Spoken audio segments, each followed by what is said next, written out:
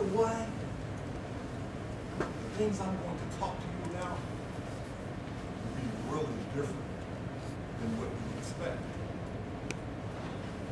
I'm going to talk a little bit about showing up, getting up, and staying up.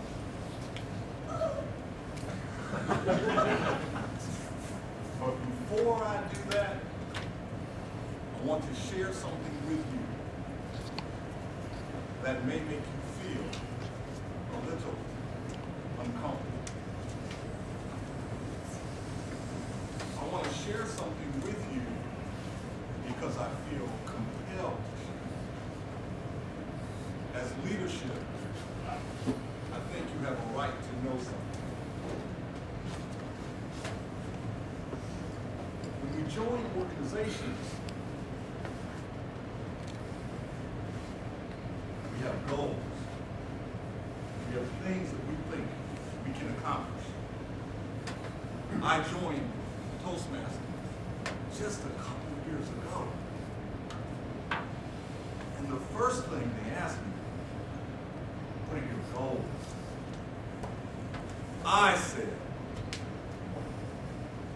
I wanted to elevate my speaking to a world-class level.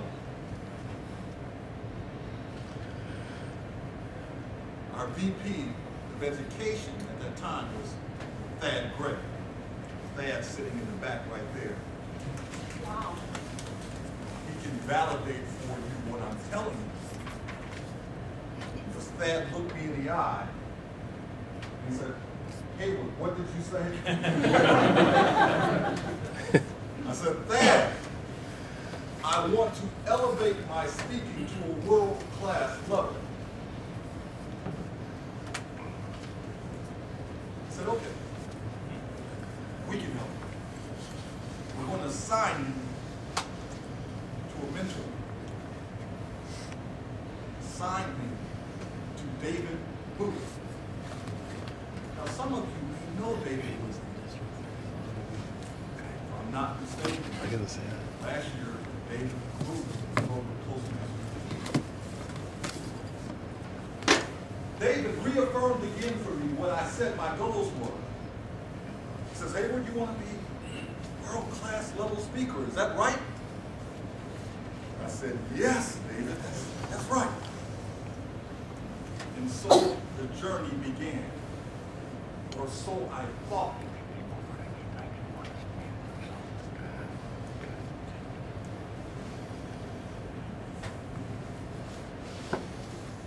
I told you, I had something I wanted to share with you.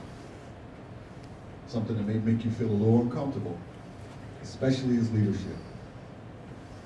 Because as I set out with my own personal, individual goals, I made a startling discovery.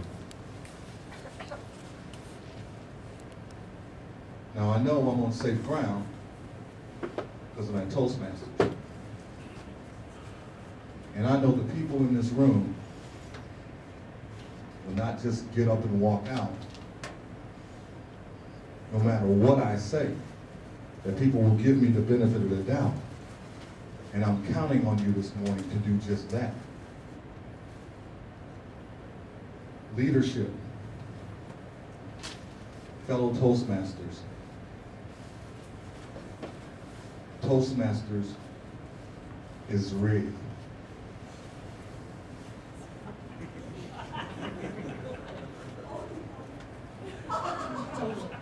Toastmasters is rigged.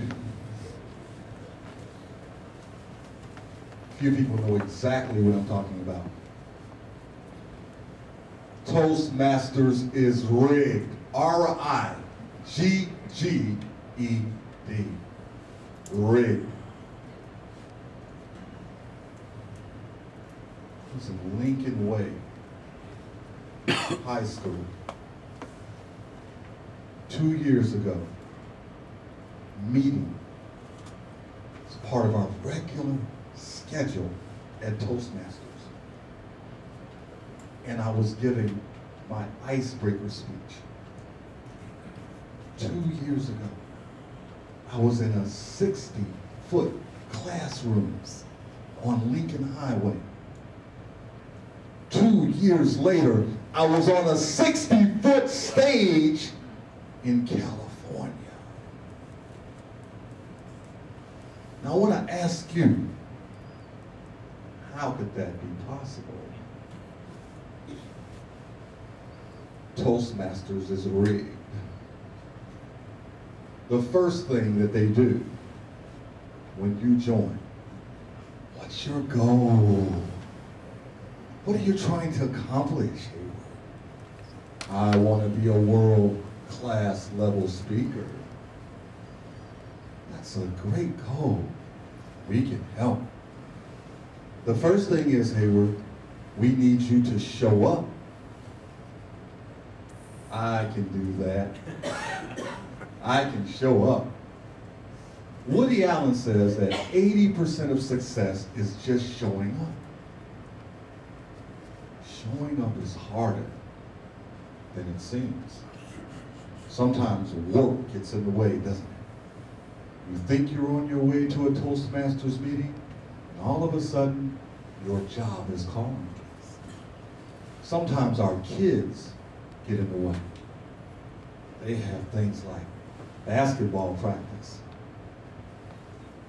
play dates, things that make it very complicated for us to go and be where we think we should be.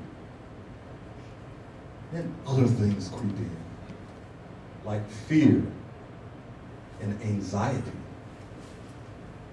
And you have to give your icebreaker speech, and it's been delayed three times by you. You're a little afraid about what might happen. Showing up is so important. You already know that, don't you? Toastmasters also says, besides showing up, you actually have to get up. Getting up means standing in front of people. You don't really want to. Talking about things when you would really rather be quiet. Getting up. So important. The last thing, staying up. You walk into Toastmasters, they expect you to be up, to be passionate, to be animated, to be excited. Being up, staying up is all part of the process. It's not just enough to show up. Now, all the time I'm getting these lessons, I'm thinking that it's really all about me. After all, I'm the guy that wants to elevate his speaking to the world-class level. This is how I found out it was rigged.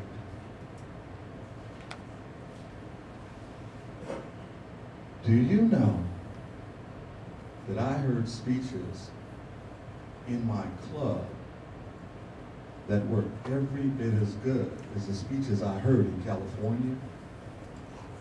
Absolutely. Do you know that when my club was tired of hearing my speech for the 400th time, they sent me out to the New Lenox Club. If you're from the New Lenox Club, raise your hand really quickly. Do you know the New Lenox Club treated me with kindness, dignity, and respect? Do you know they gave me excellent feedback? They welcomed me. And when New Lenox got tired of me, they sent me out to Joliet. I see a show of hands of Joliet Club members? Now, all along, I'm thinking, this is about me. About me showing up, about getting up and staying up.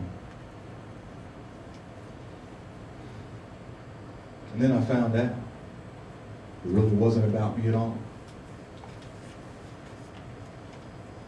I was in California, standing on a 60 foot stage with people from Australia, China, Spain, Ireland. I was talking to a world class audience. Giving my speech. I heard someone introduce me, Hayward Suggs, District 54. And then I heard the strangest sound.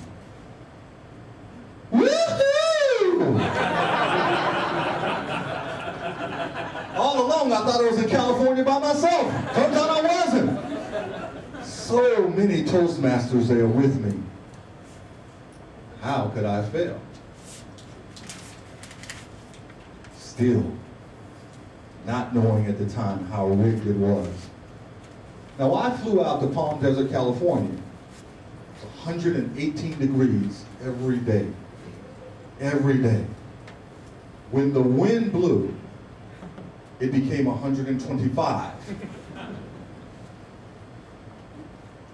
You're talking about cool possibilities. Trust me, there was nothing cool about Palm Desert. When I got to California, I did feel a little lonely. All of a sudden, I got a call. You know who called me? Then our club president, Thad Gray. Thad Gray called me to wish me success and to tell me that he was in a room at the same hotel. He was there to support me in what it was that I said I wanted to do. He spent every day he was out there working with me on my speech. Now, Thad must have heard my speech a thousand times. And each time, he let me know exactly what it was that he thought I needed to do to improve it.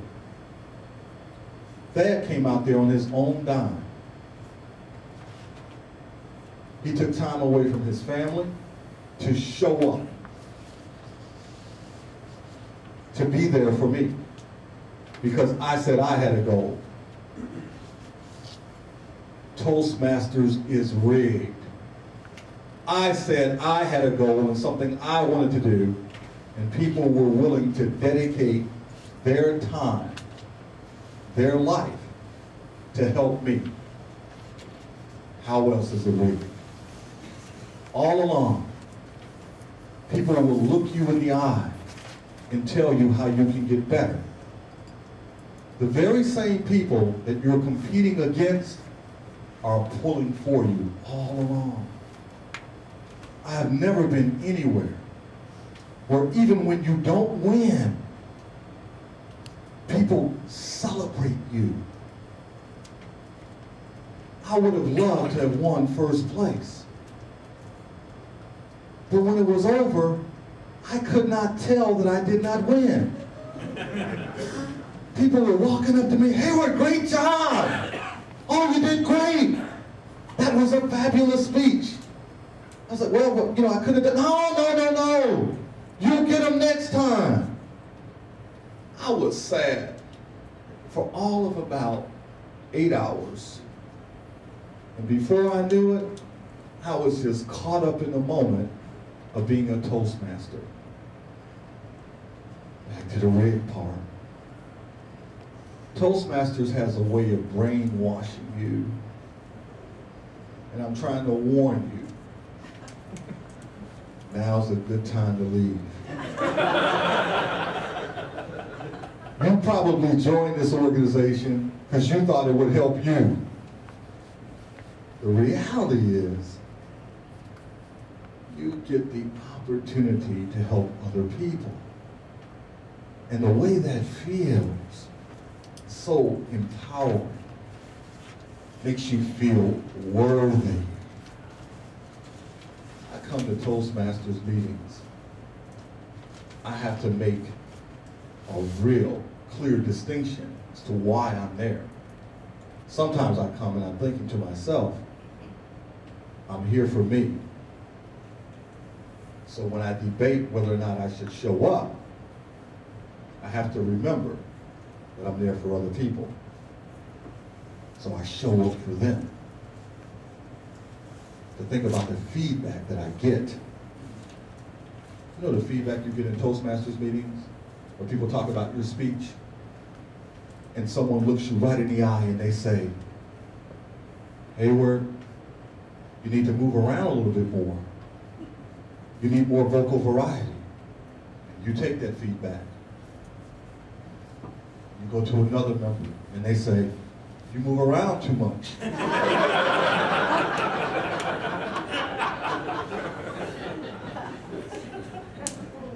feedback.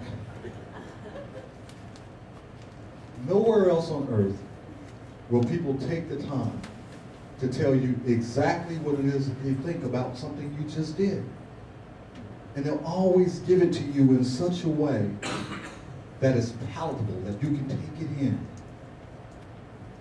People have said some really harsh things in a way that made you want to hear them again. Because you can feel yourself getting better. And in turn, you learn how to give other people feedback. Now, how many people in here right now, if I asked you to hold up a shot glass, would know exactly what I'm talking about? A few. Now, I want you to take your shot glass and I want you to think about this. How do you like your whiskey? Do you like your whiskey straight? Do you like it with a little pop, a little water, a little ice? That's how feedback is at Toastmasters. People ask you, how do you like it? Some people like it soft, a lot of ice, sugar coated. Other people like this straight down in a shot glass. Take your feedback, make your adjustments, and you get better. Feedback comes in all different forms. I got terrific feedback all the time at Toastmasters. People willing to stop what they were doing and share with me how I could get better. When I joined Toastmasters, I thought it would be an opportunity for me to highlight, showcase myself. Not that I was worth highlighting or showcasing. I just thought, from an arrogant standpoint, that it would really be about me being on stage, because that's what people kept telling me, it was about stage time. Toastmasters is every bit about backstage, because it's all the things that leadership does, and it's all the things that members do to improve other people that somehow never get seen. When I was on the stage in California, it really wasn't because of me. It was because of people at the club level, at the division level, and the district level, making sacrifices, helping me to prepare and get better, organizing, planning, and discussing the future of members. I found out that what I thought was about me and my skills and what I could do was essentially about other people showing up and doing what they did to make it possible. It was rigged all along. I couldn't fail. People say that Toastmasters is like a safety net, that somehow you can take a risk And it's okay you can take a risk. Because even if you fall, you'll be caught because you're at Toastmasters. Toastmasters won't even let you fall. And it's unfair. I know you don't believe it's unfair. Some of you are looking at me right now thinking to yourselves, how could he say it's unfair? Toastmasters did not prepare you for life. In the other world, people are pulling against you. You the real world.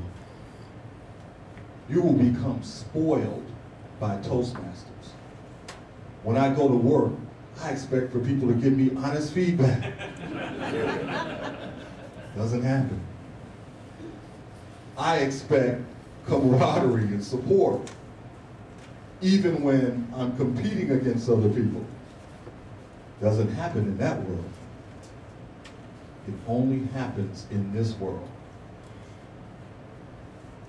Have the opportunity to be around some of the most gifted and talented people ever on the face of this planet. People who will spend their lives, their time, making you better. All you have to do is show up. Once you show up, that's 80%. Then you have to get up, which boosts you up to 90%. Stay up, which is 100% of the battle.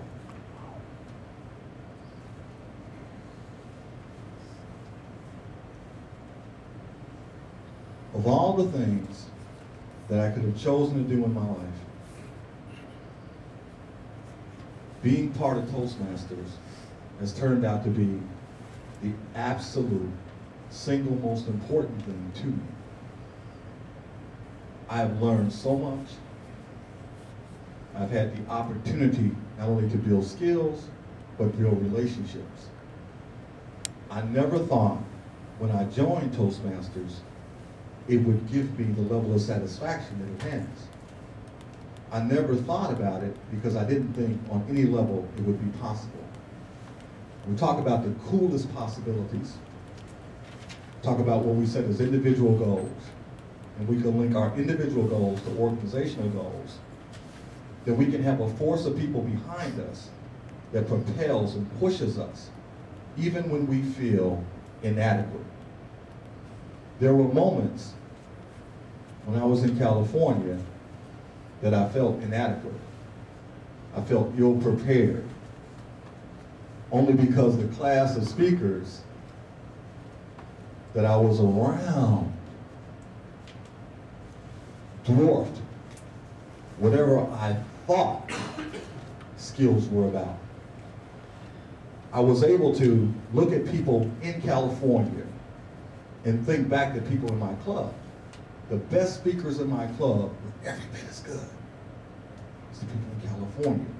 There were just so many more of them. For brief moments, I felt out of place. I thought back to my club, to the district, and I felt supported. I felt like I was in the right place at the right time. I achieved my goals because of Toastmasters. The opportunity the support, the leadership, difference makers for me. And I am forever in debt to Toastmasters for that opportunity. To summarize for you, Toastmasters is ready. Don't let anyone tell you different. If you join Toastmasters and you say what your goal is, they will work with you to make it happen.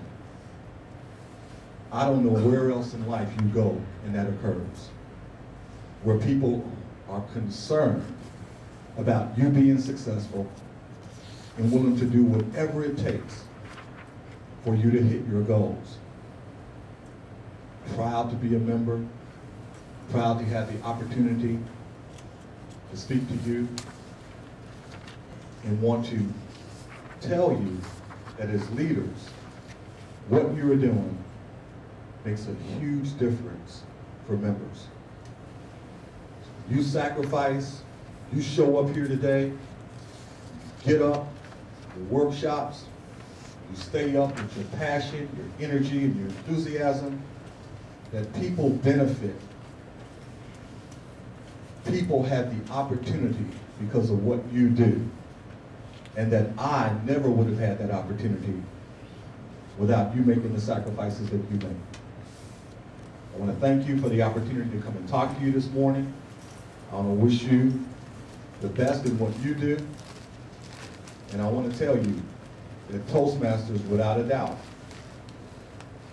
best organization I've ever been associated with. Thank you.